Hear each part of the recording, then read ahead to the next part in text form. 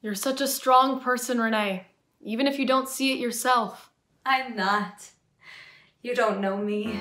I'm not as strong as you think I am. I think I know the woman I fell in love with. The woman I loved is so much more than who she thinks she is. Perhaps she was hurt, perhaps she felt broken, but she's so brave and so outspoken. The world was cold to her, and yet she kept burning with a passion so fiery it left me yearning to be like her, to be like the woman I loved. You wanted to be like me, but you're so perfect. I wish I were. Nonsense. The woman I loved is so much more than who she thinks she is. Perhaps there were times she doubted her brilliance, but she never lost her hope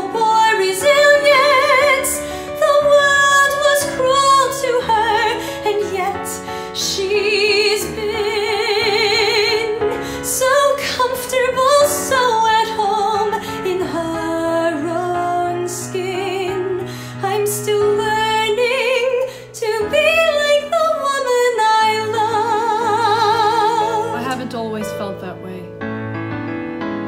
I never felt at home with my family, nor with any troop, nor in this country. I never felt at home until the woman I loved wrapped me in her arms, and then everything felt so safe and warm, like nothing in the world could hurt me. Like no could tell me I didn't fit in because I fit in so nicely in your arms. I'm sorry for walking away. It's alright.